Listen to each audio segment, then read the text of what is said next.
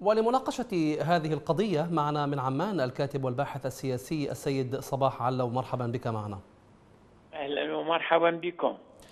المتظاهرون كما تتابع يؤكدون أن هناك خشية من رئيس وزراء مستقل والخشية تكمن في أن الفاسدين لا يرغبون في انكشاف جرائمهم وتجاوزاتهم وفسادهم الذي مارسوه على مدار سنوات طويلة.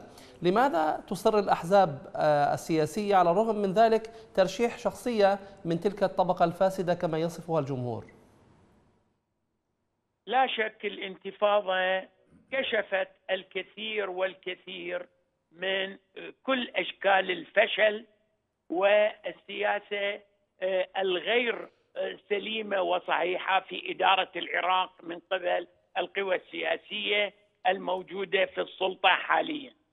ولذلك طيلة 16 سنة من حالة التراكم في الفساد السياسي والاقتصادي والاجتماعي والثقافي والخدمي أعطى الإمكانية العالية حقيقة في ظهور هذه الانتفاضة التي أعادت حالة الثقة للشعب العراقي وبنفس الوقت كشفت كثيرا من الممارسات آه، الفاسدة والممارسات اللا عراقيه في آه، سياسة الدولة الداخلية والخارجية ولذلك نلاحظ هناك إصرار نعم. من قبل هذه القوى لارتباطها بحالة الفساد وبنفس الوقت لارتباطها بالجاره إيران ودعمها للفساد والممارسات اللا انسانيه وعمليات القتل الممنهج.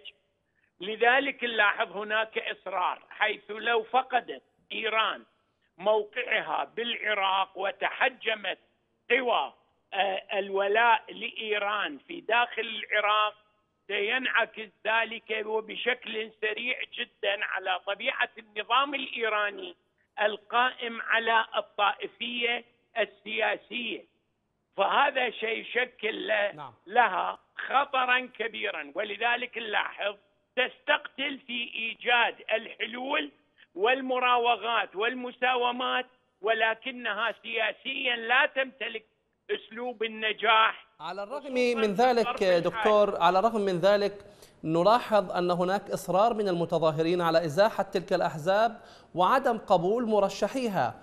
يعني أمام الإصرار الحكومي هناك إصرار في المقابل للثوار في ساحات التظاهر. نعم هي عملية صراع وجود حقيقة صراع الوجود اتضح بشكل كبير جدا في انتفاضه أكتوبر ولغاية الآن وستستمر. بنفس الوقت حيث أن المتظاهرين والانتفاضة بعموم العراق نلاحظ آه، آه، أسقطت أسقطت كل شكل من أشكال الخوف والحواجز التي تضعها القوى السياسية المجرمة الفاشلة بحق الشعب العراقي. نعم. هذا هو الذي يخيف القوى السياسية حيث أن إصرار الانتفاضة في الاستمرار آه، في اعتقادي لن يخيف فقط القوى السياسية بل يخيف إيران بحد ذاتها بكل ممتلكاتها وإمكانياتها العسكرية والأمنية والسياسية والاقتصادية بكلها.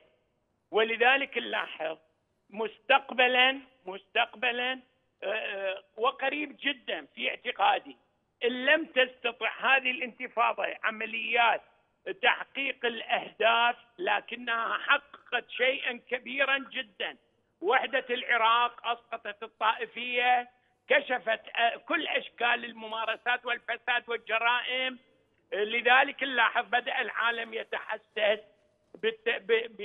بالتجاوب والدعم للانتفاضة العراقية. وبدأ العالم بدءا من الأمم المتحدة إلى الغرب حتى أمريكا. نلاحظ رئيس الوزراء رئيس الجمهورية نعم.